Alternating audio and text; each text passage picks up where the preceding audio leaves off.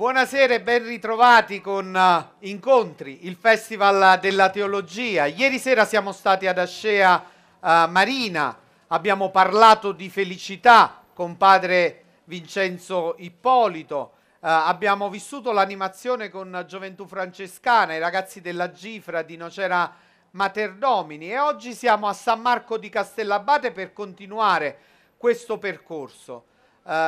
ieri padre Vincenzo uh, ci ha introdotto partendo dall'Esodo. Oggi noi uh, affronteremo un altro aspetto uh, della ricerca della felicità e lo faremo con Don Bruno Lancuba. Però prima di lasciare spazio a Don Bruno, siamo qui in questa bella piazza, la piazza del porto di San Marco di Castellabate, incontri è un festival che si è organizzato anche grazie alla collaborazione delle amministrazioni comunali che ci stanno oh, ospitando e quindi eh, io oh, ringrazio il vice sindaco di eh, Castellabate Luisa Maiuri che eh, devo dire con molta amicizia e spontaneità ha, ha dato immediata disponibilità per eh, questo evento, la ringrazio e le chiedo L'importanza in questo momento, noi abbiamo deciso di fare questo festival nei nostri comuni, perché i nostri comuni d'estate diventano un po' l'epicentro della vita anche nella nostra regione. Castellabate rappresenta anche un po' questo, quindi eh, come eh, si vive l'esperienza di eh, un comune turistico importante, di una perla come Castellabate, che ha tanti di questi gioielli diciamo, da, da mostrare a chi viene anche da fuori, ai turisti che vengono da ogni parte d'Italia e non solo. Allora, buonasera, buonasera, a tutti, ti risponderò presto, però doverosamente io porto il saluto del sindaco e dell'amministrazione comunale di Castellabate, saluto gli ospiti presenti ed in particolare saluto l'ideatore, l'organizzatore di del Festival della Teologia, Vitorizzo, l'amico Vitorizzo, eh, Don Pasquale Gargione, l'amico Gianluca, Don Bruno Lancuba, eh, che è conosciutissimo a Castellabate perché ha trascorso qui eh, molti anni in due parrocchie del comune di Castellabate e stasera è circondato anche dall'affetto, sono venuto a salutarli i suoi ex parrocchiani e lo ringrazio perché lui sarà il relatore stasera, ma lo ringrazio anche per tutte le battaglie civili, sociali che in questi anni ha portato avanti su dei temi importantissimi per il nostro territorio cilentano ed in particolare per, sulla, per il Cilento, in particolare quello della sanità. Io Vito, eh, quando tu mi hai chiesto eh, di ospitare qui a Castellabate il eh, Festival della Teologia, io ho immediatamente aderito al tuo invito, ho aderito perché l'ho trovato una novità innanzitutto, ma anche perché ritengo che in un comune turistico l'offerta culturale vada comunque diversificata e questa è una stasera è il chiaro esempio di una offerta culturale, in questo caso religiosa, diversa. Però devo confessarti che, non te l'ho chiesto direttamente, devo confessarti che dentro di me mi sono chiesta il perché di questo festival della teologia in tre comuni turistici quali eh, ieri sera a Camero, eh, Ascea, stasera a Castellabate, domani sera Agropoli. Mi sono dato una risposta e mi auguro che mi sia data una risposta esatta. Io credo che innanzitutto il messaggio del, so, che, che, noi stiamo ricevendo sotto il pontificato di Papa Francesco sia un messaggio molto più immediato, molto più diverso. La, la Chiesa che incontra quotidianamente attraverso le parole di Papa Francesco la comunità religiosa, ma anche perché credo, e questo è il messaggio e la risposta alla domanda che tu mi hai fatto, io credo che coloro che oggi sono in vacanza, e sono tantissimi nel comune di Castellabate, in un momento in cui eh, una, eh, si è appunto in vacanza, la, la, la, mente sgombra dagli affanni quotidiani, dagli impegni lavorativi e si ha un momento appunto di là, diffondere eh, e ascoltare il messaggio che parte da qui stasera anche attraverso quello che ci dirà adesso eh, Don Bruno, sia molto, molto importante e credo che venga accolto anche dai nostri turisti in maniera molto, molto positiva. Il tema è quanto mai, mi fermo immediatamente, il, fema, il tema è quanto mai accattivante, è importante, il tema è la felicità, la felicità che può essere letta sotto tanti aspetti, però io ho il dovere di concludere perché abbiamo i tempi, considerato il tempo perso prima, contingentati e credo che la parola vada su questo tema appunto dopo al, al relatore che, che, ci parlerà appunto della felicità con la, la sapienza quale chiave della, della felicità. Grazie, grazie per la presenza di tutti quanti voi. Buona serata a tutti. Grazie a Luisa Maiuri. E, eh, Naturalmente questo dicevamo è un festival, un festival perché mette assieme tante esperienze, eh, tanti carismi che sono presenti nella Chiesa, una Chiesa che è sempre più riuscita e sempre più cerca di eh, eh, eh, coinvolgere le persone, portare il messaggio con linguaggi diversi. Eh, abbiamo qui stasera eh, Gianluca Regozzini che è responsabile diocesano del rinnovamento nello spirito, un movimento eh, importante all'interno della Chiesa perché vive un particolare carisma, quello della presenza dello Spirito Santo eh, e dell'invocazione allo Spirito Santo. Tante volte noi vediamo i, i, gruppi del rinnovamento animare la messa, quindi con canti anche particolari eh, eh che eh, eh, portano a un momento diverso di preghiera all'interno della messa.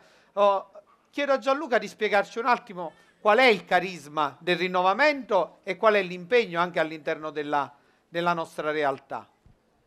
Uh, l'impegno del rinnovamento, che è un movimento ecclesiale che nasce dai fini degli anni 60 e che si concretizza con l'approvazione della, dello statuto dell'associazione eh, nel 2002, è quello di suscitare all'interno di, di chi eh, frequenta eh, diciamo, gli incontri i nostri incontri proprio questi carismi, quindi di risvegliarli con l'invocazione dello Spirito, ecco quello che per tanti anni alle volte è stato un po' lasciato là, lo stesso spirito, lo stesso spirito che muove la Chiesa e quindi stimola i partecipanti stimola a rendere un servizio, come diceva eh, San Giovanni Paolo II, e il rinnovamento nasce nella Chiesa per la Chiesa, quindi si concretizza con un, un un impegno fattivo da parte di chi ne fa parte, non solo all'animazione con i canti che sono diciamo, molto conosciuti e molto eh, diciamo, in tutto il mondo, anche perché eh, ci tengo a, a, precisare che il rinnovamento nello Spirito Santo eh, è una concretizzazione di un rinnovamento carismatico mondiale, quindi di un qualcosa che esiste in tutto il mondo e si concretizza in Italia con questa associazione.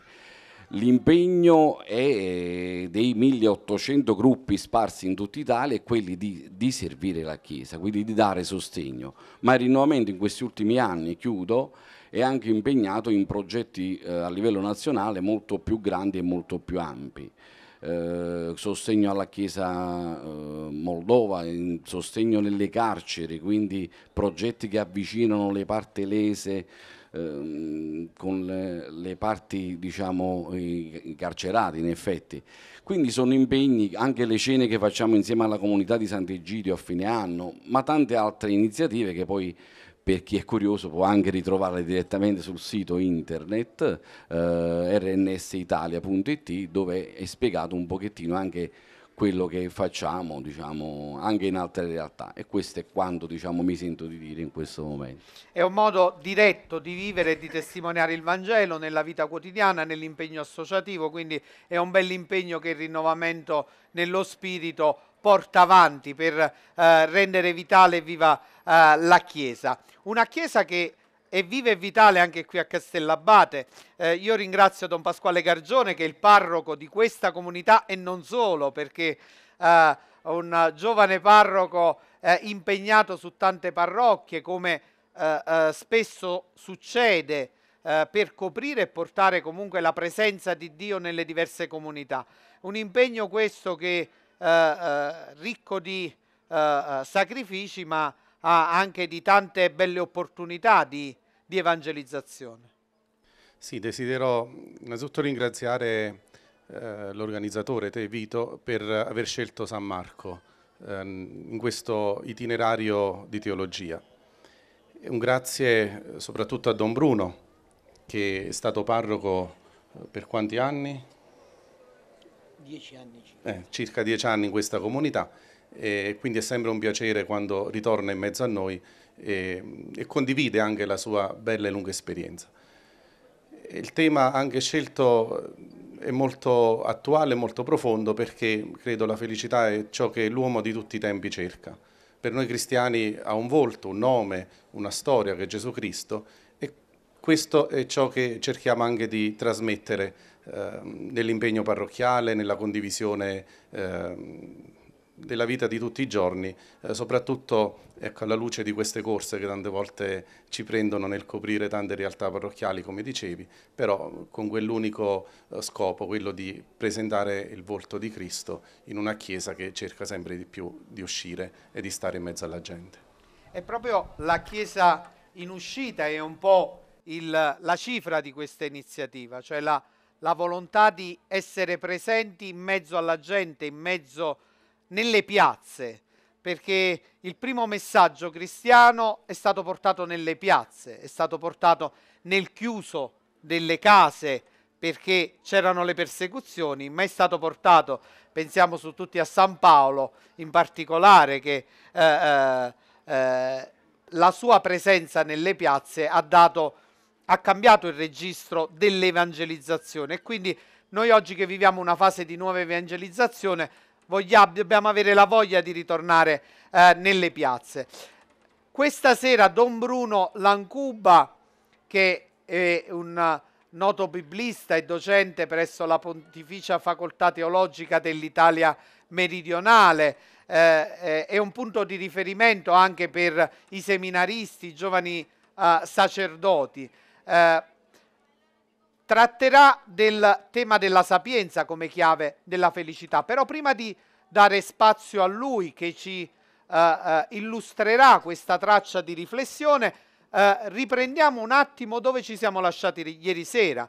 Nell'intervento di Padre Vincenzo, Padre Vincenzo ha sottolineato un passaggio fondamentale, l'importanza in quel percorso dell'esodo che ciascuno di noi vive, di vivere il deserto della vita con la voglia di ritrovare in se stessi la presenza di Dio.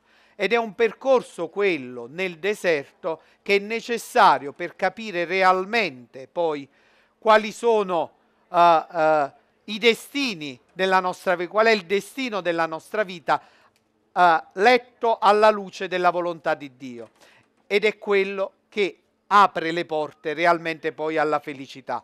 E questa è una considerazione, sono riflessioni che l'uomo della Bibbia, il popolo ebraico ha fatto, ma non solo il popolo ebraico, perché poi Don Bruno ci parlerà questa sera dei libri sapienziali come chiave della felicità, quindi eh, eh, una chiave di lettura dell'umanità nella ricerca della felicità che è presente nella Bibbia e è il suo punto di riferimento nella Bibbia. Quindi io non vado oltre, chiedo a Don Bruno di raggiungere il uh, uh, leggio e uh, ci soffermiamo adesso per questo itinerario che continua nella ricerca della felicità che è il destino di ciascuno di noi.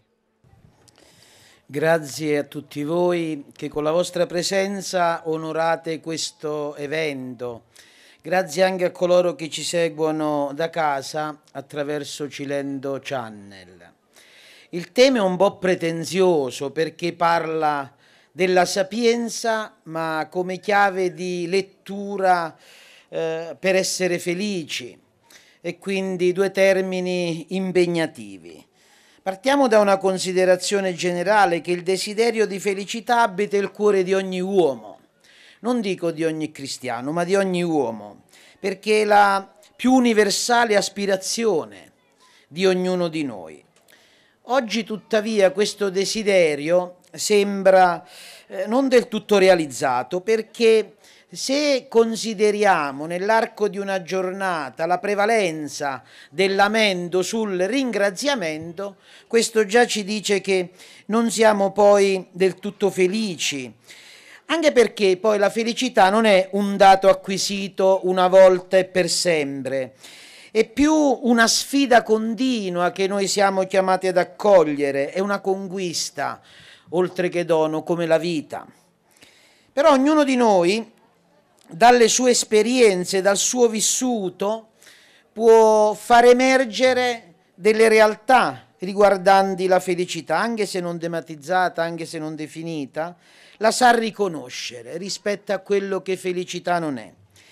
Immaginiamo degli eventi di vita che ognuno ha vissuto, mettiamo l'abbraccio di una persona a cui si vuole bene, da cui si è voluti bene, Mettiamo un bacio, uno sguardo profondo, potremmo aggiungere come il mare, un sorriso di un uomo, di una donna, magari di un bambino, un luogo, un volto, un nome che fa sobbalzare il cuore.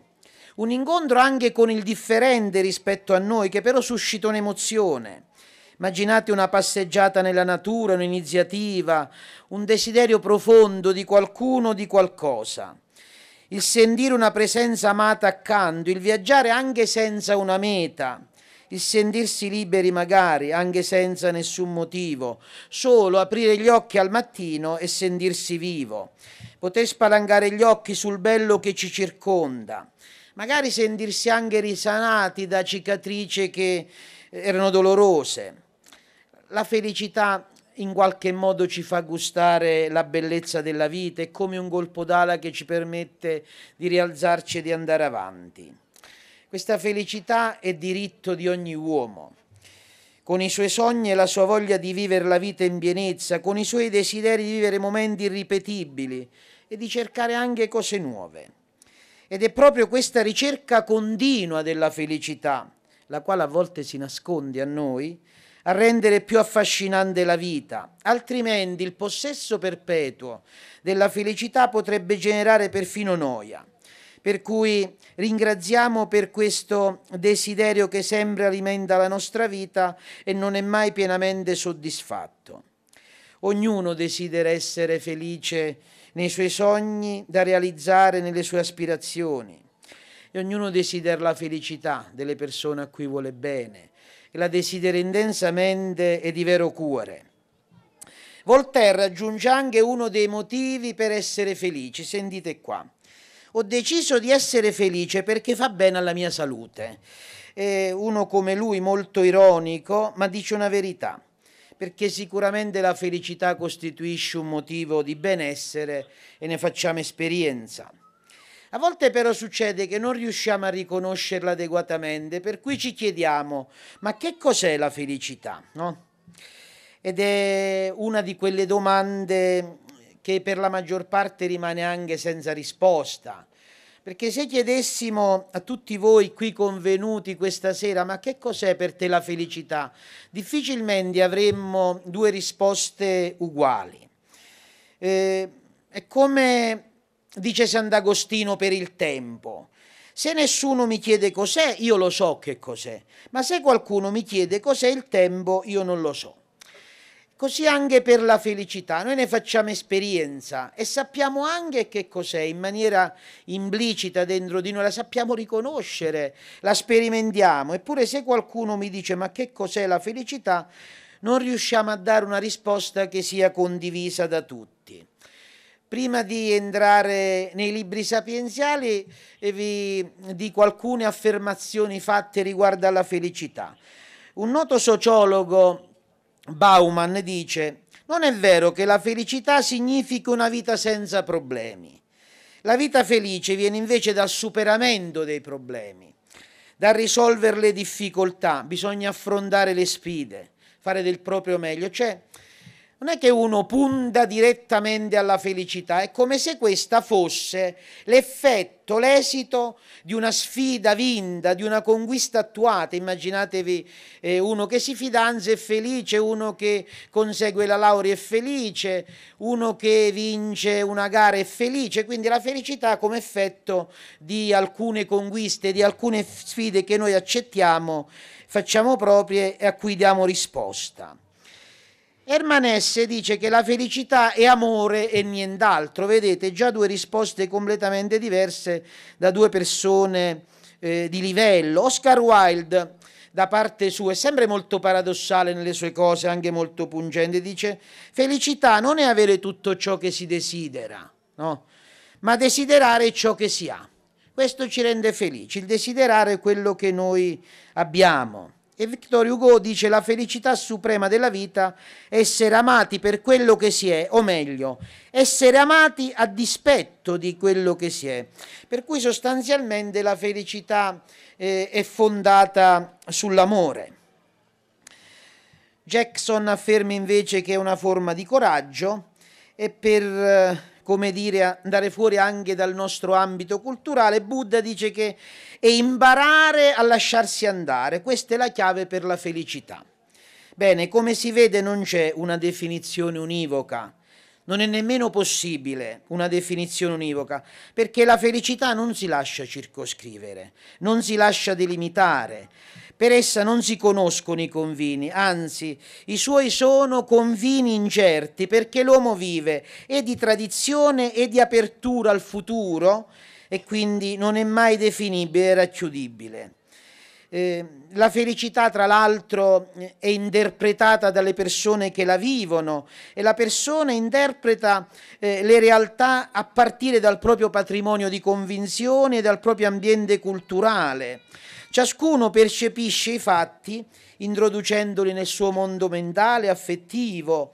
L'esperienza è già un'interpretazione dei fatti. Cari amici credenti, anche la fede è già un'interpretazione dei fatti, non è un dato puro, ma già interpretiamo i fatti a partire da questa realtà. La Chiesa, e veniamo a noi, a cui sta a cuore l'uomo, gioisce e si interessa della felicità. Basti pensare che Papa Francesco invita i cristiani a mettere al centro della loro spiritualità la gioia, la felicità. Vi dico i, dom- i documenti che ha scritto, no?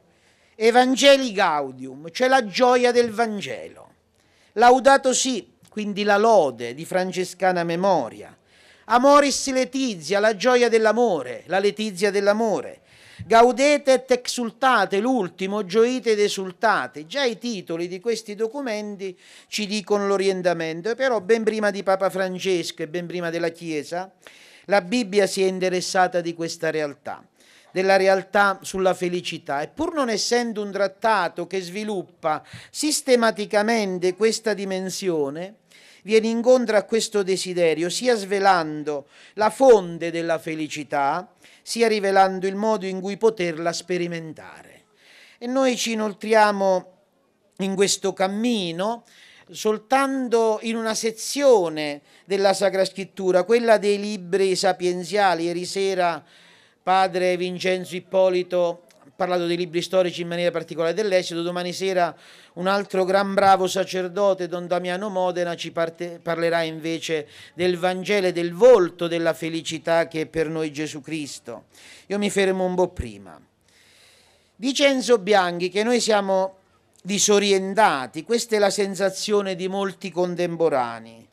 Ci si sente disorientati e come individui, e come cittadini e come credenti. A volte abbiamo perso l'orientamento, abbiamo perso la bussola, non sappiamo che strade prendere e né sembra che ci siano persone così autorevoli e carismatiche che riescano a darci indicazioni decise e precise che ci aiutino a riprendere il cammino convinto che quello sia il cammino giusto.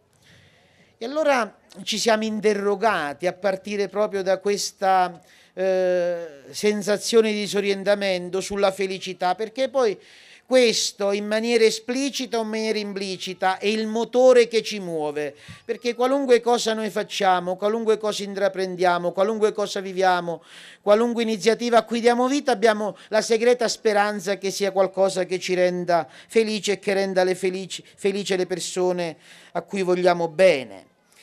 I libri sapienziali. I libri sapienziali si occupano dell'uomo si occupano della persona, non c'è nessun altro eh, gruppo di libri all'interno della Bibbia che prende in considerazione l'uomo come fanno i libri sapienziali.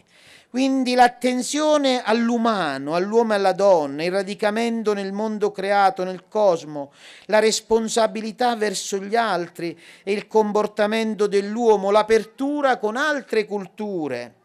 Questi elementi fanno della sapienza biblica una propria e vera iniziazione all'arte di vivere, alla vita come arte.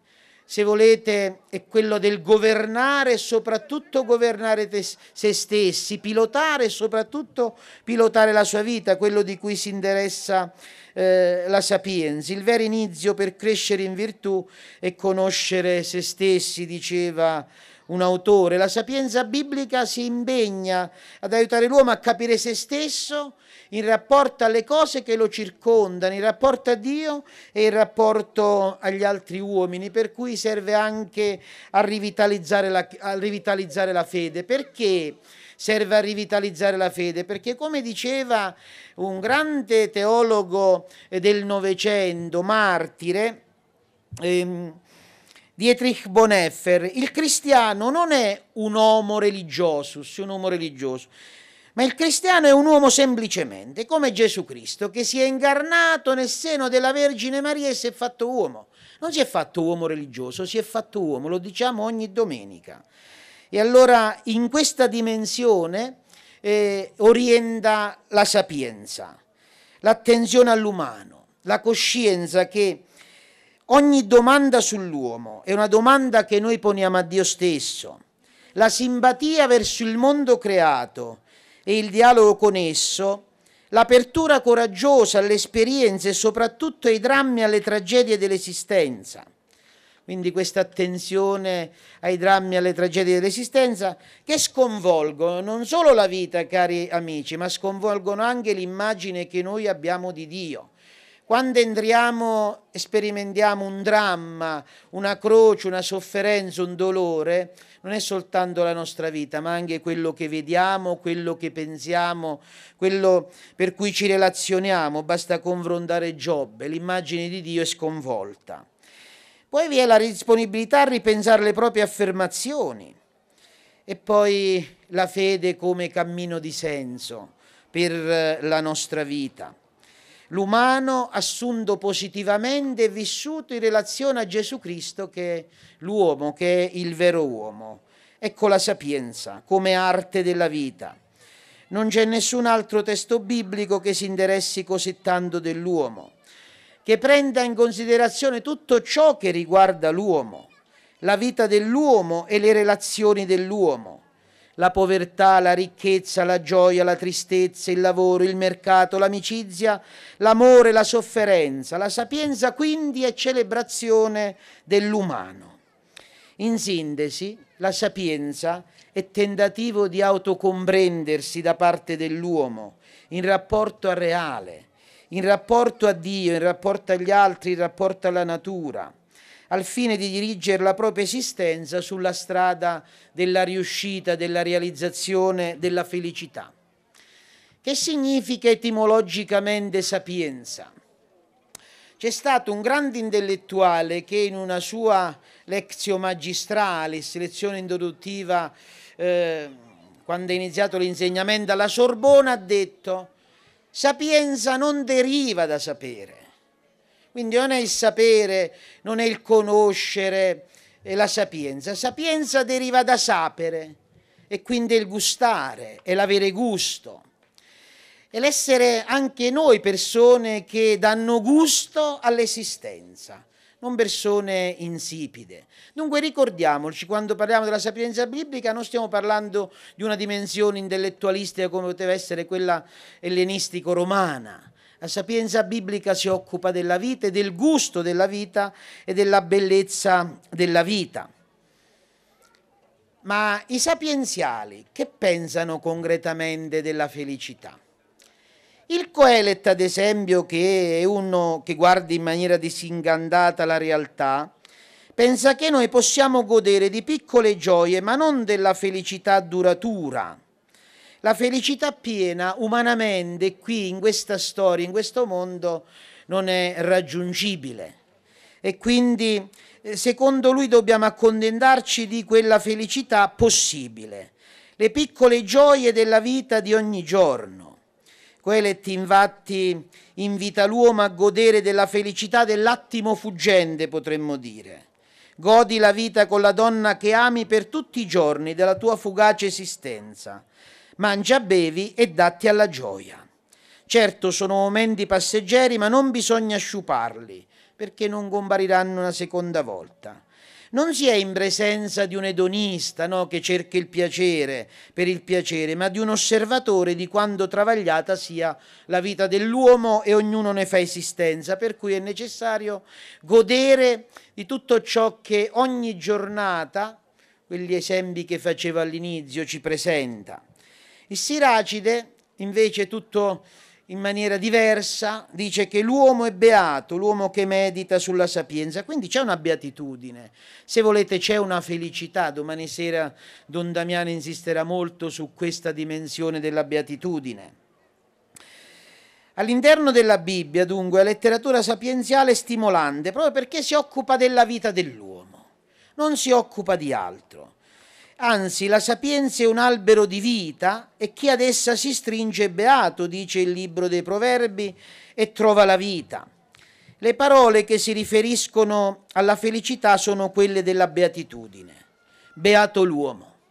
Guardate, uno dei libri fondamentali per noi, quel libro dei Salmi, inizia proprio così, Beato l'uomo. Primo salmo, primo verso, che il cammino di relazione con il Signore, perché i salmi sono la preghiera di Israele della Chiesa di Gesù Cristo, quindi il dialogo, la relazione in cui ci presentiamo per quello che siamo, con la bellezza e la miseria, con eh, la lode, con la protesta, con eh, il ringraziamento e con la supplica, questi salmi dicono che la relazione con Dio alla fine è beatitudine e felicità, beato l'uomo.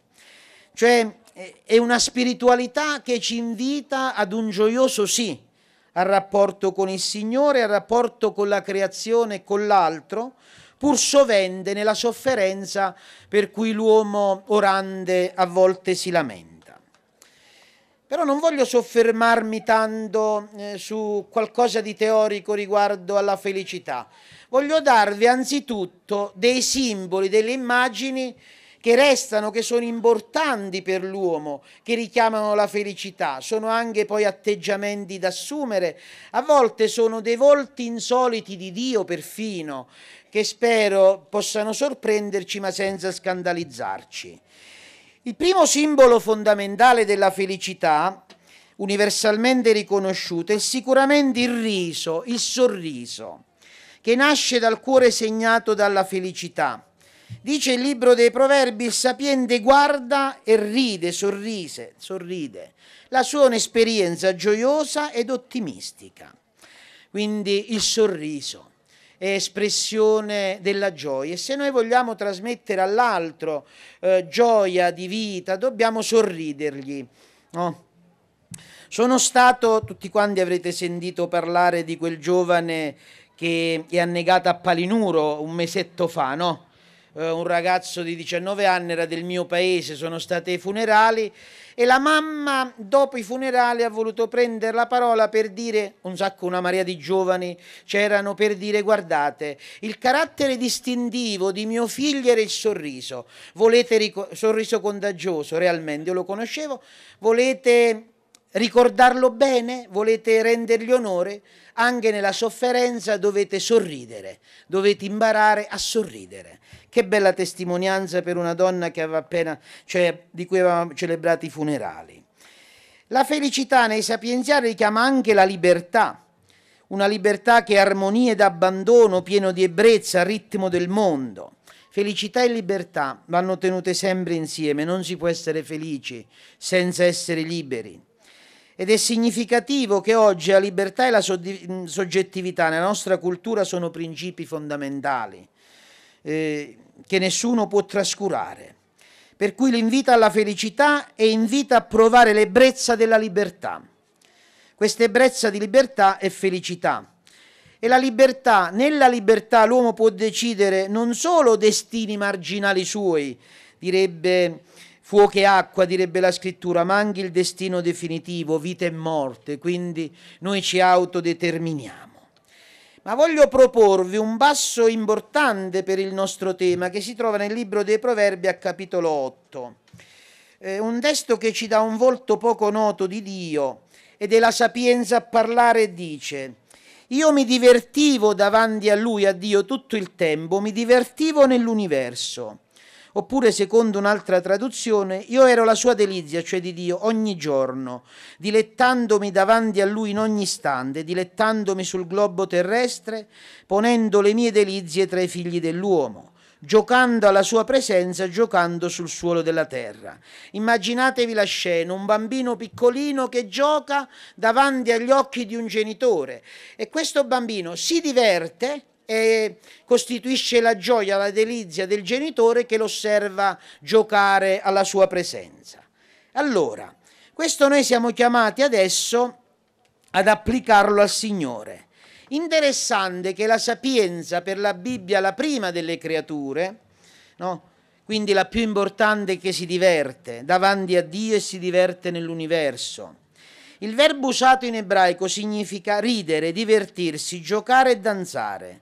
Cioè la sapienza che ispira Dio nella sua attività creatrice trova gioia, trova piacere e felicità.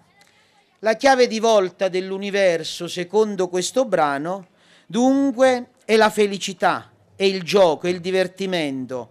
Idea questa che non solo sorprende, ma se applicata a Dio potrebbe scandalizzare. Dio si diverte, Dio gioca, Dio, come dire, gioisce.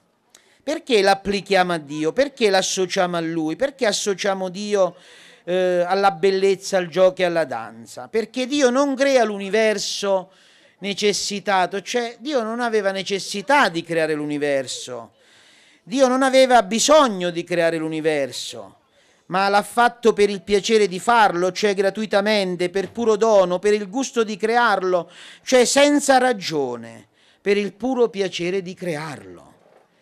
Ci sono nella vita cose utili e cose inutili. Ma guardate che c'è anche una terza dimensione, delle cose che non sono né utili né inutili, ma che hanno valore in se stesse. Per il solo fatto che sono, portano in sé iscritte la gioia, il piacere, il gusto dell'essere state fatte, così semplicemente. Si fanno non perché utili o necessarie, ma perché si ha il piacere di farle. Guardate, anche questo incontro non è né utile e né necessario. Io spero che sia soltanto il piacere di stare insieme ascoltando qualche cosa riguardo alla felicità nella Bibbia.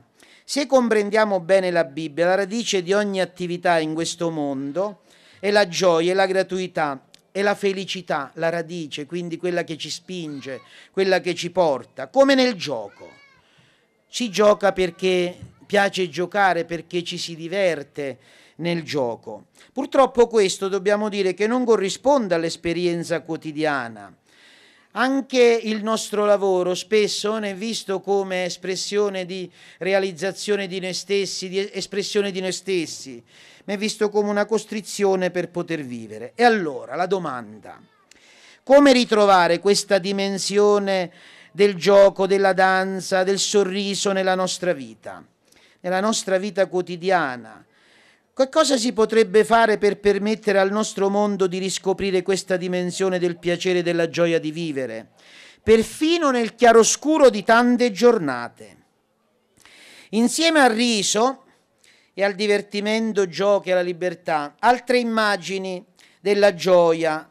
La prima che ricorre dopo questa è la danza, realtà in cui è coinvolta la persona, ma come corporeità questo è anche ciò che richiama il culto autentico, la festa, l'uomo nella sua interezza, coinvolgi- come coinvolgimento della corporeità, come espressione dei sensi, come gioia di vivere, questo è il culto autentico. Immaginate Davide che danza nudo davanti alla, davanti all'arca dell'alleanza, perché folle di gioia per la presenza del Signore.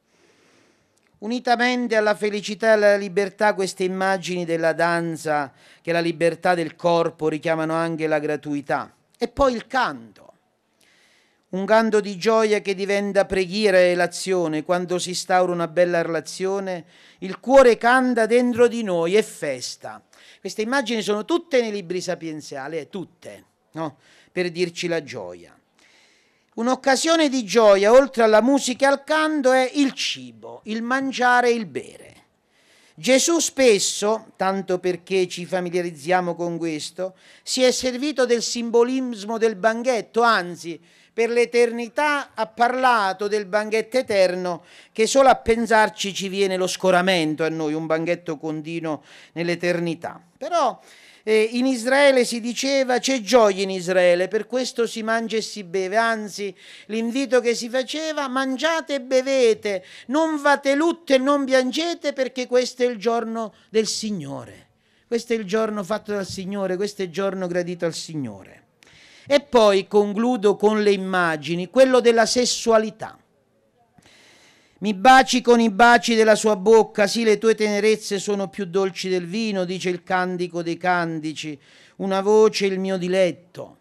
Il cantico canta l'amore, ma non l'amore semplicemente spirituale, l'amore fisico che insieme sessualità, erotismo, coinvolgimento, attrazione, piacere. Detto questo, una domanda. No? Se questi sono i simboli della felicità nella scrittura, nei libri sapienziali, com'è che la nostra spiritualità a volte è esangue ed è nemica della corporietà? Come se noi dovessimo astrarci dal corpo per essere spirituali. Gesù Cristo è vero uomo, e noi siamo chiamati ad essere vero uomini. I testi biblici ci invitano a recuperare il significato corporeo della gioia e ad accettare anche, chiedevo prima a Don Pasquale, ma fate ancora le sagre? Perché l'aspetto gastronomico, il mangiare e bere, è l'aspetto gastronomico della festa, caratterizzante le nostre feste, grazie, dobbiamo dire, alla religiosità popolare che si è conservata per cui i canti, per cui i balli, per cui le, eh, il mangiare e bere, per cui la sessualità, per cui il riso, per cui la danza, per cui il gioco, sono tutte espressioni bibliche che vogliono esprimere eh, e anche motivare, causare la gioia. I libri sapienziali però, oltre queste immagini, ci indicano, ed è il terzo e ultimo punto, anche la fonte della felicità, dove trovare questa felicità, dove la nostra felicità si radica. E i libri sapienziali la, la vedo in una quadruplice relazione, in un quadruplice rapporto, in un quadruplice incontro, eh, quadruplice però fondato tutto sull'amore sono proclamati infatti beati perfino coloro che muoiono, se muoiono nell'amore, dice il libro del Siracide. La prima di queste relazioni è quella con Dio. Io li metto tutte sullo stesso piano, le, come dire, dico prima, seconda per un ordine di esposizione. Dice Benedetto XVI, essere cristiani non è frutto di una decisione etica, non è questione morale dunque, essere cristiano non è nemmeno una grande idea, quindi nemmeno una questione intellettiva. Essere cristiani è frutto dell'incontro con un Dio personale, con un evento, con un avvenimento che dà alla nostra vita un nuovo orizzonte di senso e una nuova direzione. Questo è il nostro essere cristiani. La gioia che deriva dall'incontro non è un semplice sentimento interiore, un'emozione, ma deve essere un atteggiamento di vita Essa è suscitata dall'amore di Dio, che è fonte di prosperità e di gioia. Vedete il salmo che dice, Salmo 16, mi indicherai tu il sentiero della vita, che è gioia piena la tua presenza, dolcezza senza fine alla tua destra. Ecco, gioia piena la tua presenza e dolcezza senza fine alla tua destra. Questo se lo possono dire solo due persone che si amano. due persone che si vogliono bene, e qualunque sia la forma di questo bene. L'orandi alla presenza di Dio si illumina di gioia. Egli attinge in maniera diretta a Dio, alla fonte della felicità, non a cisterne screpolate, come spesso l'uomo rischia di attingere. Ancora il salmista, Salmo 33, dice esultate giusti nel Signore, quindi l'esultanza nel Signore. Oppure l'amore per la sua legge che porta alla felicità, come ci dice il Salmo 119. Guidami sui sentieri dei tuoi comandi perché in essi è la mia felicità. Per concludere con il Salmo del Buon Pastore 23, felicità e grazia mi saranno compagne tutti i giorni della mia vita se tu sei con me. Allora come posso essere felice, me lo dicono i salmi, a partire dal primo, beato l'uomo. Vivere il rapporto con Dio, inoltrarci in questo sentiero che è il rapporto con Lui, contemplare le sue meraviglie, rimanere a bocca aperta davanti a quello che Egli ha fatto, mettiamo un tramonto, mettiamo il mare, mettiamo un fiore che sboccia, tendere la mano a chi ti è vicino. Nelle mille peripezie di una giornata, di una vita, significa riuscire a trovare in Dio la gioia e la forza di andare avanti. La gioia che è forza di andare avanti. La gioia del Signore, dice una delle conclusioni della messa, la gioia del Signore sia la nostra forza. Andiamo in pace. Noi diciamo sempre la stessa, la messa è finita, andiamo in pace. La peggiore di tutte, come, come saluto. Invece ce ne sono bellissime. Una di queste è presa dalla Bibbia. La gioia del Signore è la nostra forza andiamo in pace e poi anche meditare, custodire, amare la legge che è legge di amore e di speranza. Perché il Signore ci ha dato le norme e i precetti? La nostra non è una religione di norme e precetti, ma come dice la scrittura, eh, te l'ho date per la tua felicità. Questi precetti sono per la tua felicità. Nell'osservanza dei precetti trovi eh, gioia. Ci sono giorni nei quali per quanto cerchiamo di impegnarci non, non combiniamo nulla, ci sentiamo persi, dispersi in mille cosette. Poi basta un pensiero, basta una parola di un amico, basta un sorriso e tutto prende forma e colore. Però quel pensiero, quella parola dobbiamo pensarla come un dono che Dio ha pensato per me, segno tangibile della sua tenerezza. Lui non vuole che la mia vita sia triste e quindi si attiva in tanti modi affinché io possa essere eh, felice. L'incontro con il Signore ci lascia il suo sguardo profondo e misericordioso, uno sguardo che guarisce e che consola, perdona e rinfranca. Lasciamoci guardare e guardiamolo. È questa una delle fonti della felicità. Però è bene ribadire che non va assolutizzato niente il Signore non cerca l'esclusiva, per cui non dobbiamo coltivare solo il rapporto con Lui, dire io mi relaziono al Signore soltanto, solo il Signore mi basta, sarà religioso ma non è cristiano, sarà religioso ma non è evangelico. Il Signore non ha detto mai solo io, il Signore ha chiesto un primato. A proposito di relazioni in cui troviamo la felicità, la Bibbia chiaramente evidenzia come non si può e deve essere felici da soli, mai senza l'altro. La strada dunque che porta alla felicità non può essere lastricata di una sola pietra, di una sola roccia, fosse anche quella dell'amore del Signore. Non basta. Per questo bisogna avere presente eh, e tenere in considerazione le relazioni con gli altri, sia amici, sia familiari, sia una relazione particolare. Per esempio, i sapienziali dicono trova gioia nella donna della tua giovinezza e poi il cantico dei cantici.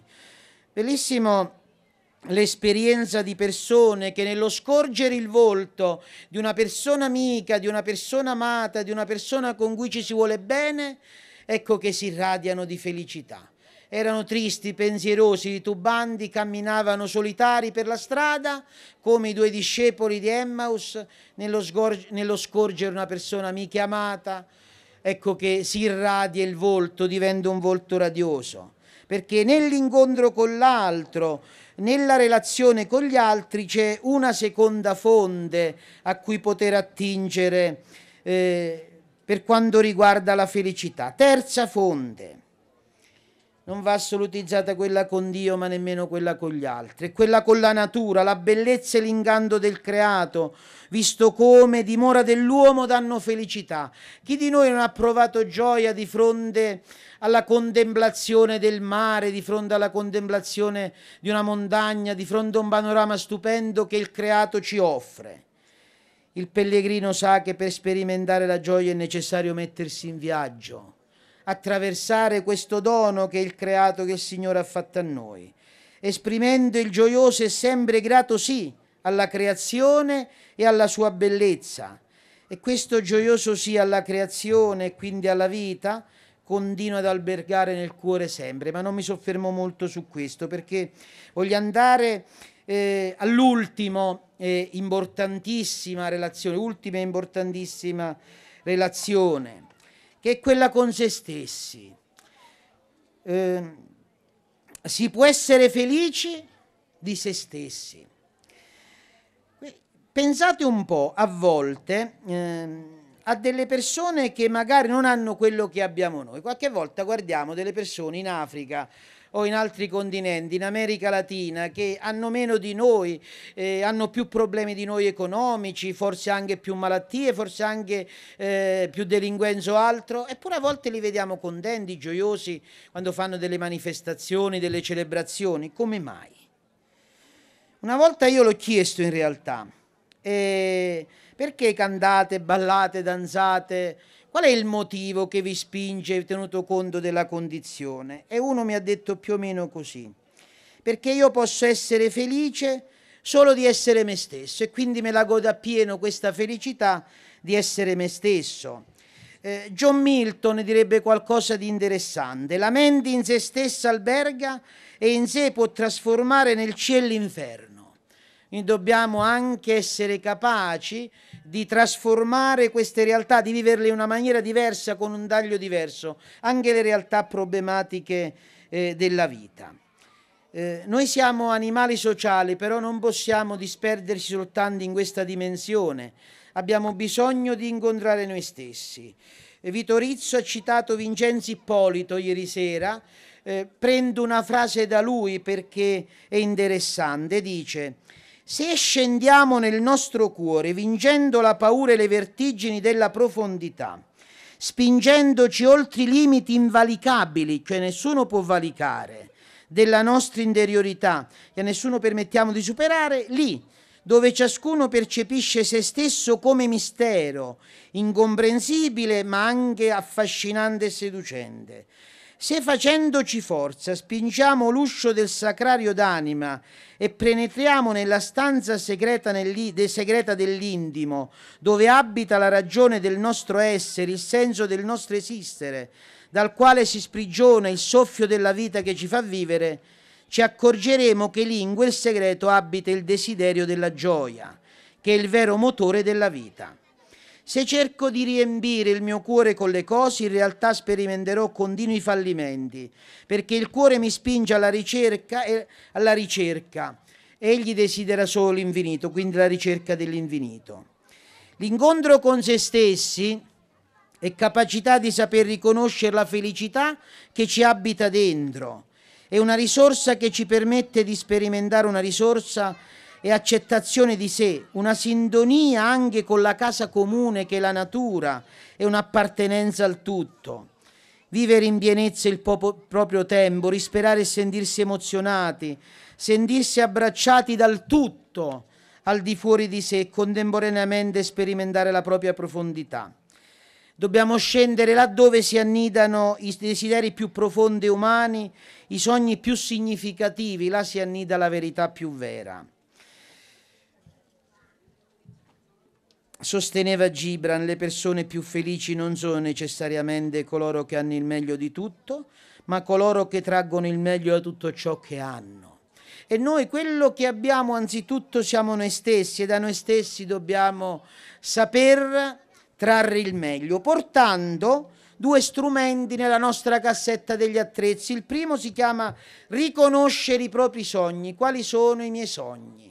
Spero che nessuno abbia smesso di sognare. A volte non sono percorribili, ma già che li teniamo presente è un antidoto contro le frustrazioni e sono fonti inesauribili di motivazione. Il secondo strumento è imparare a uscire dal percorso abituale per perseguire questi sogni. Da, dalle nostre abitudini. Noi a volte ci bozzoliamo nelle abitudini perché queste ci rassicurano, abbiamo paura di affrontare l'imprevedibilità della vita, ma dobbiamo uscire, quindi questi due sono gli strumenti. Concludo con tre verbi, dimenticatevi tutto quello che vi ho detto e ve li riassumo tutto con tre verbi. Voi dite non potevi riassumerlo all'inizio, no, bisogna fare tutto il percorso per gustare poi, come dire, il riassunto finale, no? Questi verbi me li sono, come dire, prestati da un mio amico di lungo corso io poi li ho lavorati. Il primo, gustare. Allora gustate la bellezza della vita. Abbiamo detto che sapienza non è sapere, ma è sapere, cioè avere sapore, avere gusto. Il posto anche che abbiamo scelto, che ci hanno messo a disposizione, è un invito a gustarci la bellezza della vita. Un paesaggio che si apre su orizzonti che sono in vita alla libertà acque che hanno riverberi dai mille colori, non a quest'ora chiaramente perché sono buie, no? Ebbene, gustate queste cose e soprattutto gustate la vostra età. Dice il Coelet, ogni cosa è bella a suo tempo, non è bello essere bambini, essere giovani, eccetera, è bello essere nel tempo che noi siamo. Io a 52 anni è bella la mia vita a 52 anni, chi ne ha 15 ha 15 anni, chi ne ha 80 ha 80 anni. Gustiamo la bellezza della vita, che pur tra mille contraddizioni è un'età meravigliosa, certamente fondamentale qualsiasi età noi viviamo. Gustate la vita e la bellezza delle persone che vi stanno accanto. E su questo non mi soffermo, ho detto già della relazione importante con gli altri che è fonte di felicità. Secondo verbo, dopo gustare, rischiare. Rischiare l'avventura della vita o se volete tradotti in altri termini dobbiamo avere il coraggio di vivere, il coraggio anche di uscire da percorsi già dati, di osare anche il nuovo. Non dobbiamo sprecare il nostro tempo, non dobbiamo sprecare soprattutto il nostro futuro, non dobbiamo sprecare le speranze e i sogni che ci portiamo dentro. Dobbiamo ogni mattina in maniera martellante dire che in quella giornata dobbiamo metterci l'anima, dobbiamo dare tutto. Ecco, impariamo a scommettere, impariamo a rischiare tutto quello che abbiamo, il nostro tempo, le nostre energie, il nostro cuore per le cose che valgono.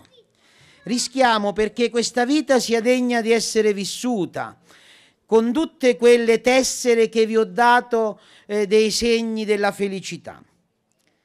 Per chi dobbiamo rischiare? Per Dio? Per chi dobbiamo rischiare? Per noi stessi, per gli altri? Per la natura, occhi che si incontrano, mani che si accarezzano, cuori che si amano.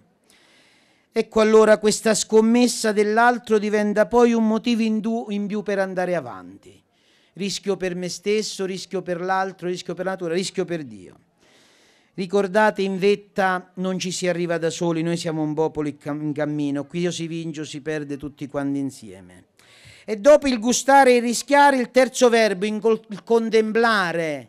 Dobbiamo andare a contemplare dentro di noi e intorno a noi, contemplare il mistero della vita.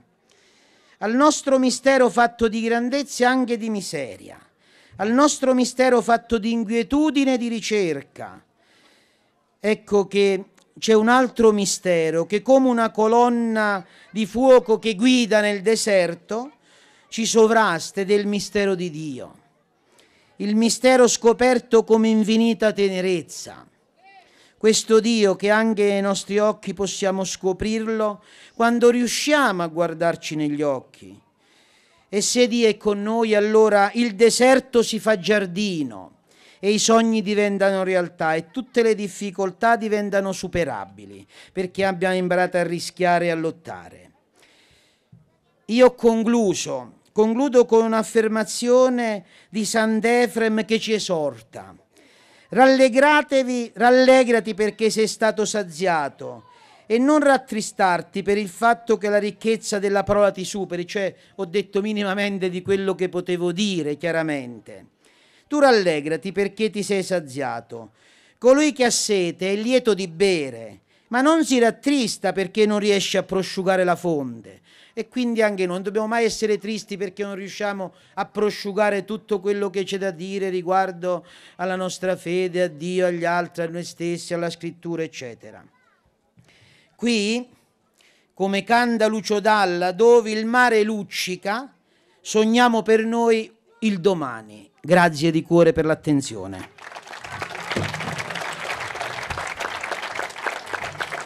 Grazie.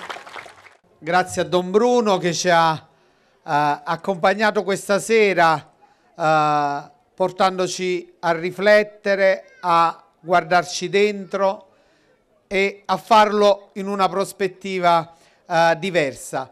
Uh, io naturalmente uh, vi do anche appuntamento a domani, ma prima di concludere questa serata mi scuso anche con Actor Sud perché si sono dilatati un po' i tempi, ma adesso ci sarà un bello spettacolo teatrale divertente che vi potrà accompagnare ancora questa sera. Uh, L'uomo più forte di Raffaele Speranza, io invito i bambini che hanno lavorato con l'ACR di uh, Santa Maria di Castellabate eh, eh, a raggiungerci perché, uh, come vi dicevo prima, mentre noi con Don Bruno ragionavamo un po' della felicità, i bambini l'hanno voluta raccontare a modo loro e quindi invitiamo Don Pasquale a ricevere questo dono. Questo è il cubo della felicità che i bambini hanno voluto realizzare e colorare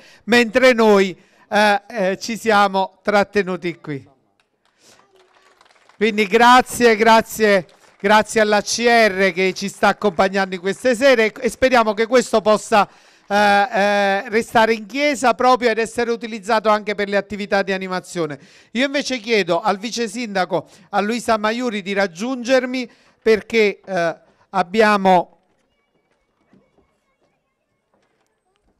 un omaggio da dare ai nostri uh, ospiti, quindi uh, innanzitutto questo è un vino di un'azienda locale, la l'azienda vitivinicola Marino che ci, ci ha sostenuto in questa iniziativa. E dicevamo anche ieri sera, è un bel modo testimoniare un omaggio con il vino che simbolicamente rappresenta nella forma più viva e vera anche la presenza di Cristo insieme, insieme, al pane. Quindi un vino buono che nasce dalla fatica dell'uomo e dal dono che il Signore ci ha fatto della nostra terra. Quindi diamo a Gianluca Gozzini per rinnovamento nello spirito, lo diamo a Don Pasquale Gargione per uh, l'ospitalità e a Don Bruno Lancuba. Appuntamento invece per noi domani sera in diretta da Agropoli nella piazza Vittorio Veneto. Uh, concluderemo questo percorso sulla felicità con Don Damiano Modena. Uh, che tratterà il tema la gioia del Vangelo e la vita felice. Quindi concluderemo questo percorso e avremo eh, ad animare poi la seconda parte della serata eh, il eh, rinnovamento carismatico Servi di Cristo Vivo che ci raggiungono da Caserta, quindi anche quello un bel momento per vivere insieme la gioia di stare insieme. Grazie e buona serata a tutti.